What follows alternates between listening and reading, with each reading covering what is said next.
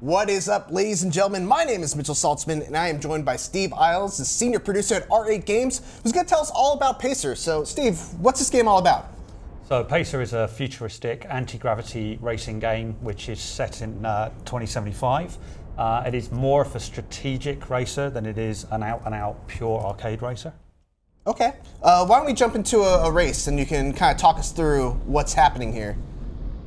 Okay, so John is just starting in uh, one of our 14 tracks. This one is uh, Satterwald. Uh, so this is day uh, uh, going forward. Um, now, one of the things that you mentioned to me off camera was that there's uh, there's different times of day that you can play these these tracks on. Yeah. Uh, how, how does the track track change in any other kind of way other than the, the visuals, or is it pretty much just uh, you know lighting effect kind of difference? No, it's uh, you basically you start off uh, racing forward, and then when you when you go into the campaign mode, you are as you go through campaign, you slowly unlock all the other uh, modes of a particular track. So you're racing day uh, as, as default, and then you've got a nighttime version. Um, you've also got a reverse uh, version of the track that you can race. Um, and there's also a mirrored uh, version of the track that you can race. And then you can mix and match. So you can do mirrored reverse. And every iteration of that track is obviously a new version of that track. Uh-huh. So you're getting effectively four variants um, to actually race around. And then obviously on the night, then you've got eight variants in, in total. Wow. You are going so fast.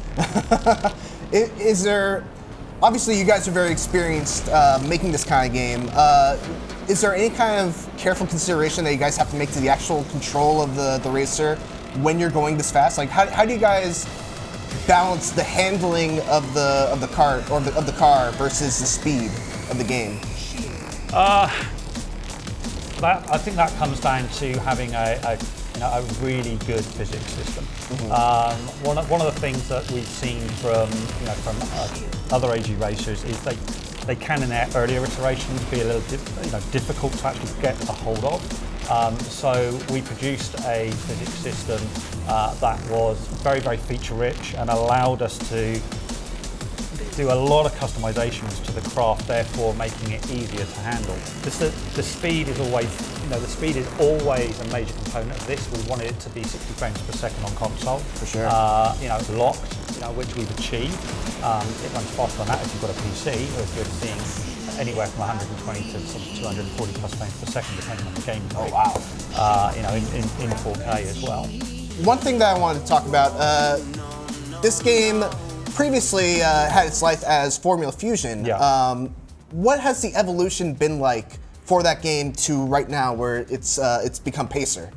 Uh, it's a massive evolution. Uh, the, you know, the, the, the, studio are very lucky that they were able to take what they had learned from Formula Fusion uh, and basically give it the lease of life that it, it should have had in its original iteration.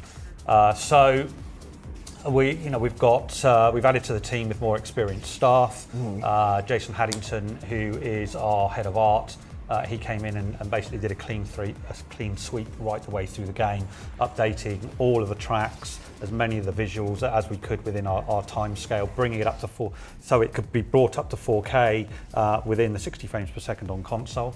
Um, under the hood, um, Sean and the rest of the programming team have pretty much gutted the entire game. So the physics system is built from the ground up. Um, all of the AI has been uh, built from the ground up. And most of the game's been built from the ground up. There's, wow. there's not a lot of the original code left with within Pacer from the original Formula Fusion iteration. Sure. So right now we're in a garage. Uh, yeah. Uh, can you go into a little bit about the customization options in this game and how that's going to affect your, your actual racing? Okay, so you've got you've got multiple uh, updates within this. So you, you, what John is in now is in the section where you can update the, the look of your craft. So there's, there's different skins, there's different bolt-ons um, that you can have. It's all, all, all cosmetics. Mm-hmm. Um, and when you've got the ship looking how you want it to look, um, then you can go into the other part of the garage and then actually start upgrading the craft uh, and its, its handling capabilities. And also, uh, as well as its handling capabilities, you've got the different coloured exhaust trails, etc. Okay. Now, outside of the craft specifically, you've also importantly got the weapons. Um, now, within the multiplayer modes, um, we've got multiplayer modes where you can actually go into a race with or without weapons, so it's not a case that the weapons are always present within a race. Uh, but you get all the weapons as soon as you get into the game. As you go through the game and you, and you acquire tech credits, um, then you can actually unlock modifying cards and then start modifying those weapons. And that is another real key feature of Pacer that you haven't seen in other AG racers. Interesting. And uh, I see there's a there's a currency in the top left. How Yeah. are how are people going to be getting this currency? Okay, so tech credits are earned via, well, many different things within a race. So coming first, number of overtakes, number of kills, completing the race, etc., etc. They, they all go to acquiring tech credits, which you then accumulate and then are able to then spend within the garage. Okay. So it's very, it's very much, um, and we, we were, you know, we were looking at the uh, like the in-app purchase model, and we, we didn't want to create a game where you were you were paying to win. For sure. So you you do have that grind, but then everyone's got that grind, and it's about balancing that grind so you, you you're not going for so long without actually unlocking something new within the actual game. Cool. Uh, one of the things that you talked about briefly was multiplayer. Can you go into a little bit about the multiplayer modes that people are going to be seeing in Pacer? Yeah, sure. There's uh, multiplayer is up to ten players, uh, and that's on all console and also on the PC format. Uh, we have seven multiplayer modes, uh, including uh, an anti-gravity's first uh, multiplayer mode in Battle Royale. Oh, battle royale in a futuristic racing game. Yeah. What's that like? So with, with our implementation of uh, a battle royale mode, uh, what we've done is uh, put a force field uh, around the ships, which are covering all the ships from lap one. And every lap you, you're going around the circuit, then the, the force field is getting ever so, you know, ever so, uh, ever so slightly smaller. Sure, sure. Um, so what you've got to do is you've got to stay within that force field. You, your ship is outside of the force field. You start hemorrhaging damage. Got it. Um, so it's, it's last man and then so okay, so so the last car to to survive the, the damage uh, knockoff of Yeah. getting outside the force field is going to be the winner. Yeah, Got it. Okay.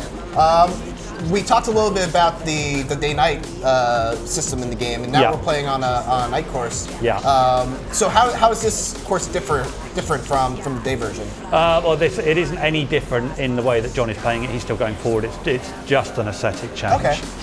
Um, whereas if, if obviously John went to a mirrored mode or reverse, then then yeah, it's a completely different circuit. Right. Well, it looks it looks really cool. I love the. It's all. It almost reminds me of like going to Disneyland when when it's it's nighttime and all the lights come on, all Yeah. the you know, it, everything feels like a, it's glowing almost. Uh, so very very cool. Uh, I'm seeing I'm seeing a bunch of weapons getting picked up. Can you Yeah. talk a little bit about the weapon arsenal in in Pacer? Okay, so John um, got two weapons on this craft right now. So what you just saw him using was a tether weapon, and the tether weapon uh, attaches itself to another craft and drains its shield uh, energy and then the actual ship's energy. Um, the other weapon that John has got is an electrical weapon called Shockwave, and that one basically disables the, uh, your enemy ships or your uh, the other multiplayer ships. Okay. Um, some of its electronic systems, so it, they can't boost, and they're also getting damage, etc. Cool, cool. Um, one other thing I wanted to, to ask you about, uh, music is, is always a, a really important part of these futuristic racing games. Yeah, absolutely. Uh, what can you tell me about, about the music that you got in here? Okay, so we've got a we've got a bunch of uh, licensed tracks. So uh, one, one of the uh, the guys that uh, we've got within this game is uh, Dub FX that have provided uh, a, a nice set of music. Uh, and another another chap that we've got uh, is Tim Wright from Cold Storage, who was uh, you know one of the original guys involved with the, the Wipeout series. So we've got some uh, exclusive music from him that he's provided that hasn't hasn't been heard before, um, and some original compositions as well, specifically for Pacer. Cool. Uh, and there's, there's there's more coming in that front, which we'll announce at a later date. All right, well, guys, that is Pacer. Uh, can you really quickly tell us about uh, what platforms is coming out on and the release date? Sure.